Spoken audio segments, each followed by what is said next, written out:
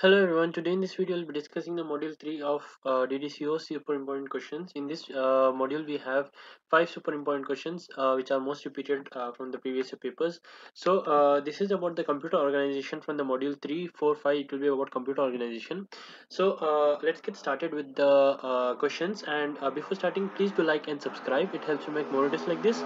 So without wasting more time let's get started so the first question is write one address two address and three address. Instructions to carry out c is equal to a plus b. Okay we have to use three methods to write it. Okay so we'll start it like this. There are three types of basic instructions namely three instruction format two instruction format one instruction format. Okay so let's understand each one by one in three instruction format consider the arithmetic operation. C equals to a plus b. Okay what is present in a? That value plus what is present in b value? That answer will be uh, stored in c. Okay so step followed during the evaluation are access the first memory operand a and access the second memory operand b. Perform the addition between the two memory operands. Store the result into the memory location c. The mathematical representation is equal to c is equal to a plus b. Okay so the format is as follows for the three address format. Okay for the three address we'll be having three uh, spaces here. First is operation code. As always we'll be having an operation code what you are going to perform addition subtraction multiplication division and so on. So source 1 source 2 will be uh, doing the operation code between these two. If it is addition we'll be doing the addition between the source 1 and source 2 the answer will be stored in destination. So this is in this form. Destination is equal to source 1 plus source 2 okay. An example will be add a b c. Now how it works is add will be performed between a and b and that answer will be stored in c. Let me repeat. Add will be happened between a and b and that will be stored in c. What the point? C is equal to a plus b. Okay that is a three address uh, format. Two address format will be having an operation code and a source and a source slash destination. So destination will be source plus destination. Okay. So here the sequence will be as follows. Move a into r naught okay and move b into r1 now r0 has a r1 has b. What we'll do add r1 r0 comma r1 and move the value of r1 into c means when we add r1 uh, not in r1 the value will be stored in r1 okay the answer will be stored in r1 and we'll be moving r1 to c. Okay so we'll be using the registers here. And at a point of time we are just doing one operation like moving or uh, adding. Okay we cannot directly add a and b value. We have to store it in the register then add it then uh, move the answer to the another register. Okay that is about the two address uh, mode. Moving on we have the one address mode. Okay in one address mode there will be an operation code and operand. What is to be done and uh, on what data is it is to be done. First for example we'll load a. It loads the content of a into accumulator. Here accumulator will be present. That is a temporary variable. Here a is loaded first. Okay load a. After that store a. Store a means this a will be stored in the memory. Okay in the memory location a is now in memory location i have a. Then add b is present. When we do add b b will be added to the value present here and that value will be again stored here only. That is accumulator. Okay accumulator will have the final answer after that. And then uh, will be uh, taking the final answer. So this answer will be there a plus b okay that is about the one address instruction Moving on to the second super important question, we have explained the basic operation concepts of a computer with a neat diagram. Another question which can be asked similar to this is explain the basic functional units. Okay, that is a different one. There will be five functional units okay that question is also asked but this is more repeated one. Don't miss uh, the functional unit question as well okay? In that you have to make a diagram in which input output cpu memory address register memory data register and control unit. These five things will be there. The diagram is there. You can watch the theory video of mine uh, the module 3 of ddco the link you can find in the description box. In that i've explained that uh, basic functional units also. So uh, read the question very carefully. Here it is basic operation concept. This is a different thing okay? So operation concepts include instruction execution execution and our connection between processor and memory. Okay. So briefly we will discuss what is instruction execution and the main answer is present in the between the processor and memory connection between the processor and memory. Here the diagram is also there. Okay. So what is instruction execution? The program to be executed is stored in the memory. Okay. See in the uh, whatever we want to execute that is stored where? It's stored in the memory. Okay. If this is the memory here what will be stored? Instruction that is to be executed. Instructions can be accessed from the memory and processed one by one uh, and executed. Okay so there will be a list of things to be performed. One by one it will be taken and it will be executed. Okay like that. That is what uh, the instruction execution is. And the format will be as follows. Op code source and destination. Operation code and source and destination what should happen between them? The operation code will be uh, defining that. The following are the general steps. Uh, first fetch the instruction decode the instruction access the memory operand. Then access the register operand. Once you have got the memory and the register operand perform the operation. After that store the result in destination register. Okay Now the main diagram which you have to make is between connection between processor and memory. This is the memory and this is the processor. Okay. So between the memory and processor, it's connected in three uh, parts. The first part is related to memory address register. It will store what? It will store the address. Data register will store the data and control unit will perform uh, handle the data between the processor and memory as well as the IO operations. Okay. So more details of uh, all of these you have to define. Okay. After writing this, you have to write about all of them. So few two or uh, one or two points for each of them are MAR is memory address register. It establishes communication between memory and processor. Okay, see this is the processor, this is the memory. So it establishes a connection. MDR will also establish connection. Control unit will also establish connection. But MAR will store address of the memory location. MDR will store the content of memory location. Control unit also does the uh, communication establishment, but it controls the data transfer between the memory and processor. Also, it controls input output operations. Okay. Next is program counter. It holds the next instruction to be executed. See, there is a big list of instructions and uh, which instruction is next to be executed that is stored by program counter okay general purpose register will store the temporary data okay this will store the temporary data temp data okay some data if you want like for example if you got answer 21 that 21 will be stored here and after some time we will be taking it from here okay for that general purpose register is used instruction register it holds the instruction to be executed which current instruction is being executed it holds that instruction okay pc will be having the next instruction instruction register will be having the current instruction last one is ALU arithmetic logic unit. It performs the arithmetic and logical operations for the given data. Okay.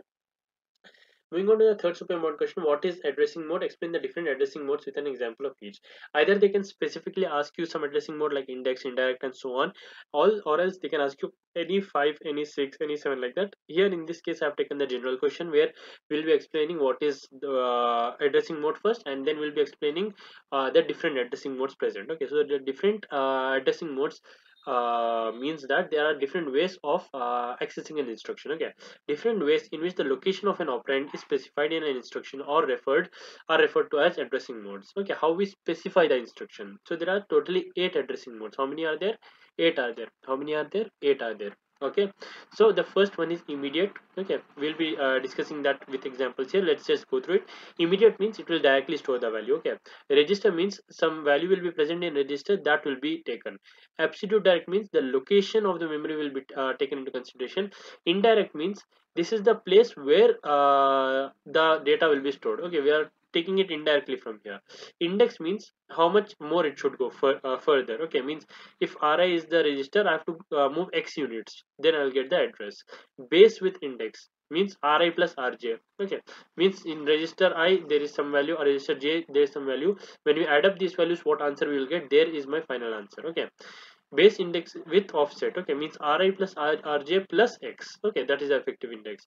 Relative means program counter program counter if it is suppose in 4 and x is in 5 means four uh, five locations from the program counter is the uh, place where i want the instruction. Auto increment means the register will increment uh, one value to the address which is pointed. Auto decrement means it will decrease one value. This is true when we are uh, executing an array operation. When the first uh, uh, value is taken you have to increment and take the second value then increment take the third value and so on. So in that case auto increment is used and similar some cases auto decrement will also be used. So some examples you can uh, this example in the exam. Immediate mode move 200 to RA. so 200 will be moved to RA and operand will be equal to value. Okay. Operand is equal to value. 200 is the address. Register mode whatever is there in r1 put in r2 okay. Absolute mode direct mode whatever is there in location in the memory store put it in r2 in indirect mode there are two ways. Okay through a general purpose register through a memory location. In through a general purpose register where suppose that it is having add what is present in r1 to r0 okay? Now we will go and fetch what is present in r1 in r1 what is present? B is present. So b will be added with r0 like that we are going and fetching right? That is called as indirect okay? Here also uh, add what is present in a to r0 what is present in a? In a b is present. So b will be added to r0 got the point next is index mode. In index mode uh, we'll be doing xri so it will be ri plus x okay? So like for example uh, load r2 20 r5 so what will happen? The value of r2 will be stored. Where it will be stored? 20 locations from r5 20 locations from r5 if this is r5 20 locations from r5 is the place where the r2 will be stored okay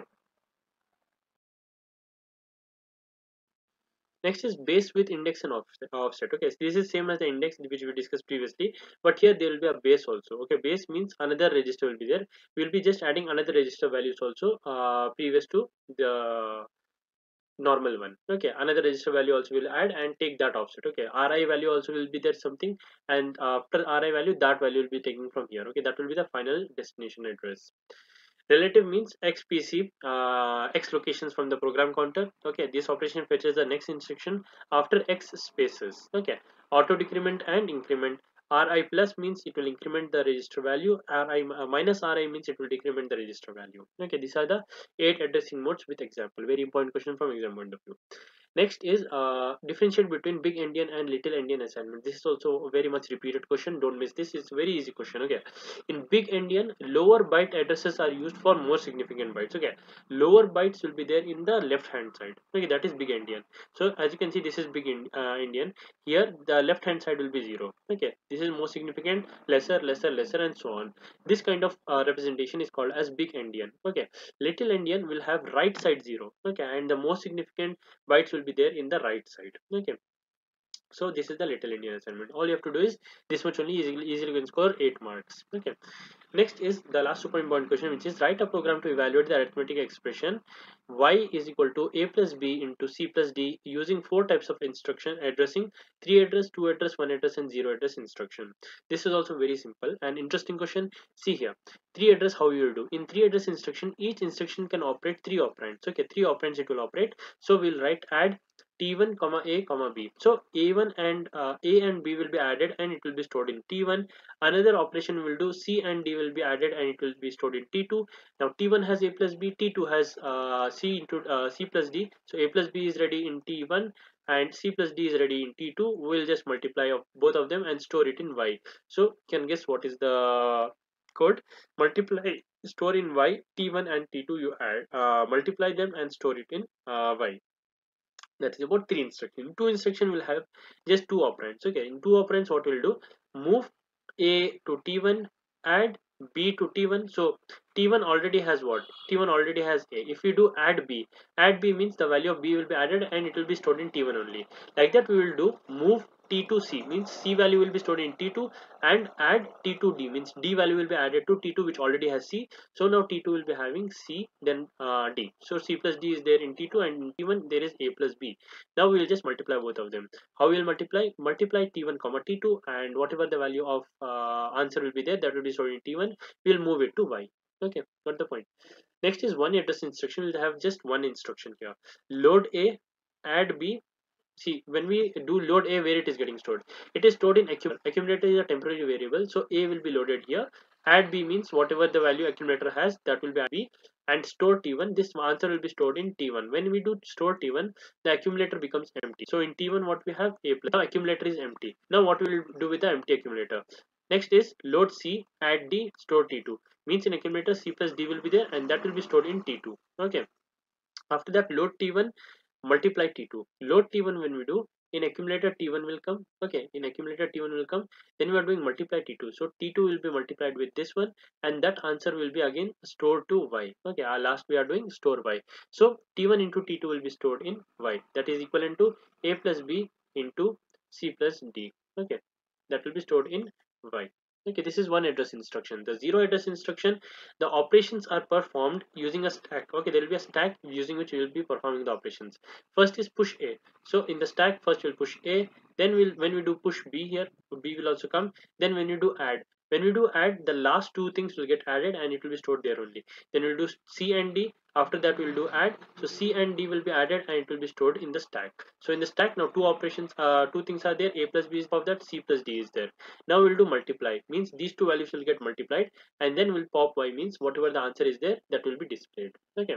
This is about the, instruction uh, different types of instruction four types. For y is equal to a plus b into c plus d. Okay. This is a 10 question very important question from exam point of view. It's repeated also. Okay. So don't miss it that's all for this video and uh, if you like this video please do like and subscribe. It helps me make more videos like this. And thank you so much for watching. I'll see you in the next one